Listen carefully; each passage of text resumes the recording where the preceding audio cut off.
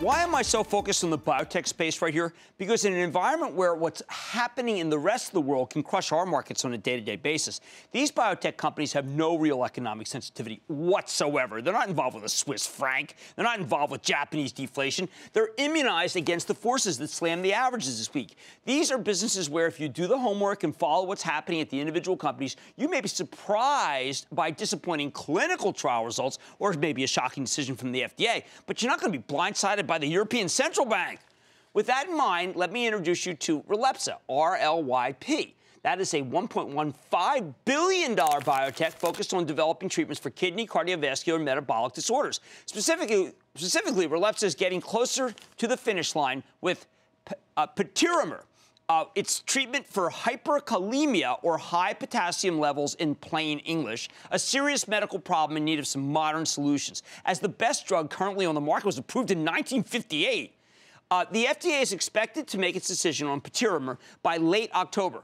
And early this month, we learned that it doesn't plan to convene an advisory committee drug, uh, meeting on the drug. And I got to tell you, that's really bullish. The question now is how big is the market? Initially, Relypsa plans to target patients with heart failure and chronic kidney disease, population of millions, which could potentially make this a blockbuster drug in short order. However, new drug launch can be complicated, especially since Relypsa has a potential competitor that's less than a year behind them in the development cycle. In short, speculative stock, a lot of upside potential, major risk. Let's dig deeper with John Orwin, the president and CEO of Relypsa, to hear more about his company and where it's headed. Mr. Orwin, welcome to Mad Money.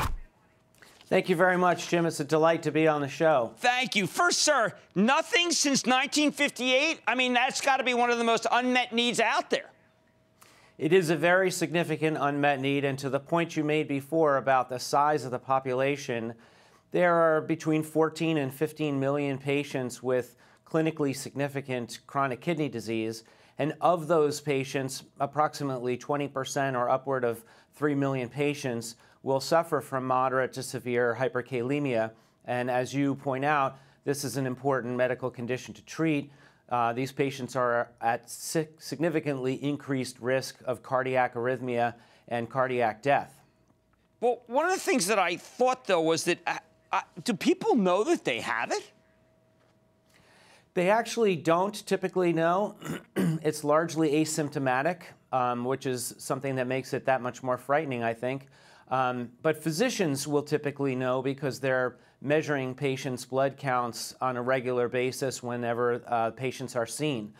Uh, so a physician will usually know that a patient has an, an, elevated potassium, but to your point, there haven't been any new treatment options in like 62 years, uh, and the, the old option that exists is really not a good one. It's not very well tolerated. It hasn't been shown to be uh, effective in, in clinical trials or subjected to the kind of scrutiny that um, a new product like ours would be. So it's really important to have uh, new treatment options for these patients and treatment options that are well tolerated enough that they can be given on a daily basis because, after all, chronic kidney disease is a chronic uh, disease. Right. So, chronic disease, chronic treatment, take your polymer in a powder form each week?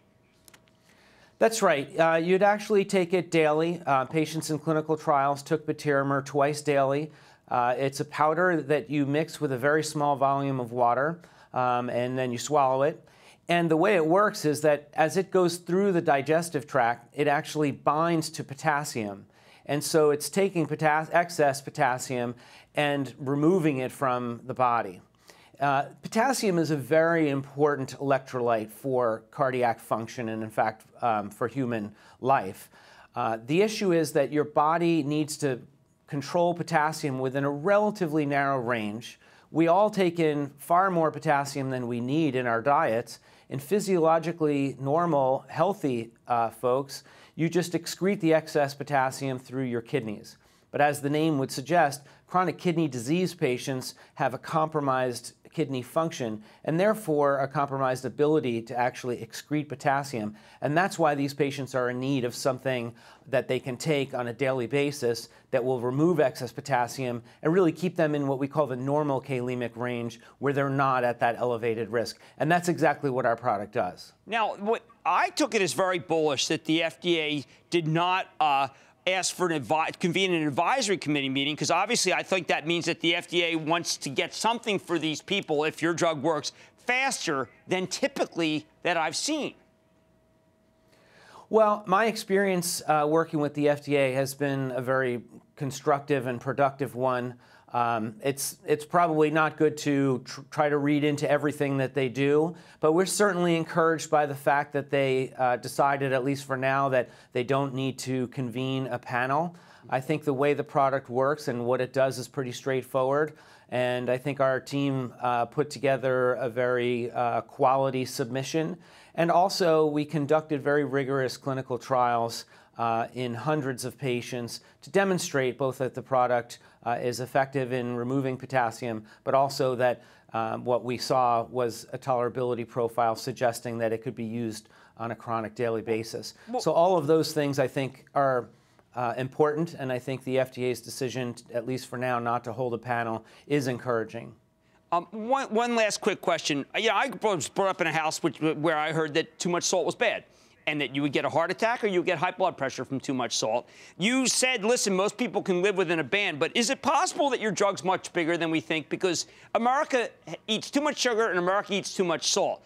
Could yours be the answer for those of us who have been addicted to salt and just desire it all the time, even though we know it's bad for us? Well, many of these patients are sodium restricted, and so they can't uh, take a lot of salt.